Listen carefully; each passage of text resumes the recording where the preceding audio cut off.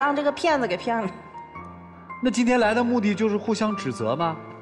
你们有俩儿子呢，因为还有我们已生活呢经生活六年了，他当初对我的承诺，他都没兑现，我对他已经很失望了。如果要是再继续这样下去的话，我就不想再跟他走下去了。又不过了是吧？那您希望他变成什么样，您就跟他过呢？肯定是当初他承诺我的，他兑现了。从今天开始，所有的饭他做，对吧？五岁的孩子从今天开始都是他看，您就跟他过，是不是？对，一个网约车司机干了这个，他怎么干网约车但是？他干网约车，他也没挣着太多钱呢。他要是挣了太多的钱，是不是这件事儿就可以不用做了？他要是说他好好开网约车的话，这些东西可以不做。所以啊，你要的不是他的承诺兑现，你嫌这个男人不能挣钱嘛？没有达到你的标准嘛？那你说，最起码他得给我一个稳定的房子呀。不是夫妻一起去打拼吗？因为我结婚之前他有房子，到现在我们也没住进去，没住还怎么进去也不是？他的事儿，你是拆迁房是吧？对，回迁房。对呀、那不是没盖好吗？等呗。您在这把岁数都两个儿子的妈了，您还没弄清楚什么叫生活吗？我能等，孩子能等吗？现在不是有房子吗？现在我们在租房子，而且还是租的是毛坯房。啊，现在租房子是因为你没回迁是吗？对，一直没有。那就接着租啊，没这条件啊，你们不努力工作呀，你们互相埋怨啊出。去去做买卖，然后他还埋怨我。所以其实说白了就是您嫌弃他不能挣钱嘛，您就直接说这个问题对嘛。现在想怎么样呢？我太累了，我不想再给他机会了。我听明白了，就是您实际上是不想跟他过了，对吧？对，这个家说白了有没有他，您觉得都一样，是吧？不是，那有啥不一样的呢？毕竟他是男的。这毕竟他是男的。哎呀，那世界上除了女人就是男人呐。所以您到底要干嘛呀？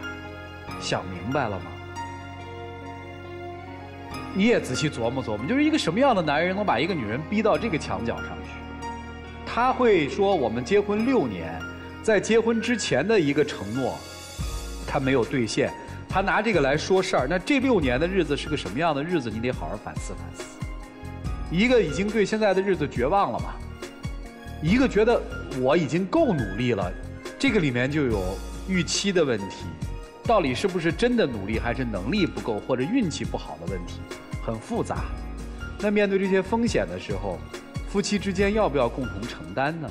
还是所谓的大难来时要各自飞呢？你们听听老师们的建议吧。我们一起进入丘比特问卷。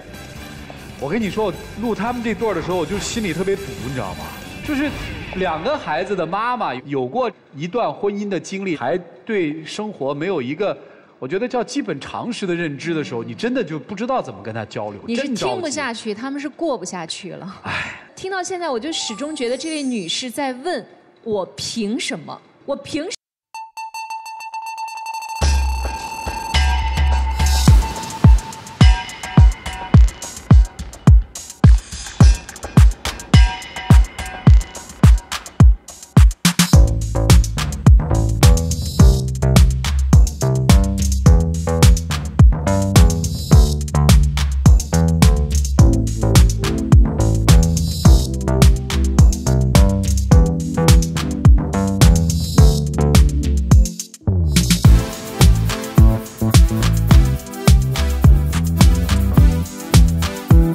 Bye.